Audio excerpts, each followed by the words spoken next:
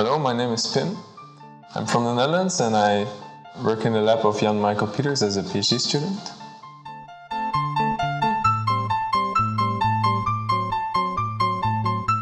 It was actually my old supervisor who told me to consider the IMP for doing a PhD.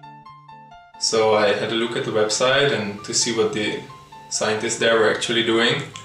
And I liked what I saw and decided to apply for the PhD program. I was never in Vienna before. Mm, the city has a lot to offer. For example, I like it when I walk in the city center to have a look at the historical buildings, the theaters.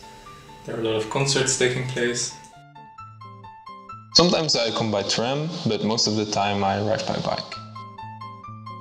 The institute has a few guest rooms, and there you can stay for a few weeks, and in those few weeks you are then trying to find a place to live.